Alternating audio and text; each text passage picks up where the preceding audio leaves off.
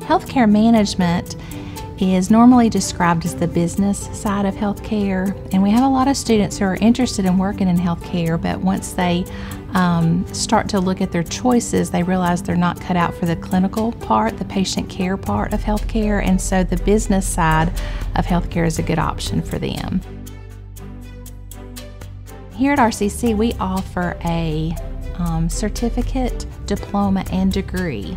So there's three different levels of education that you can achieve in the program. Students in our high school CCP program can actually obtain that certificate before they finish high school.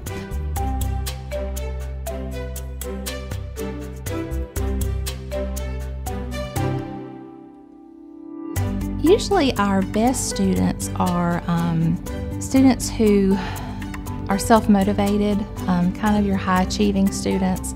Um, and so it takes a special personality to um, take on those management roles, you know, and that's your type A high-achieving people usually. The business side of healthcare has so many opportunities right now.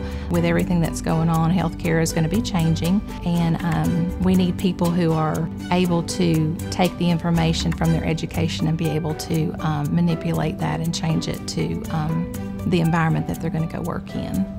We are very thankful for our new building. Um, this is going to afford our students a lot of opportunities that um, that they haven't had, and um, it's just a great place. It kind of fosters that um, community sense with the students. So there's a lot of places for them to study together and um, help each other. So it's just it's just a great thing.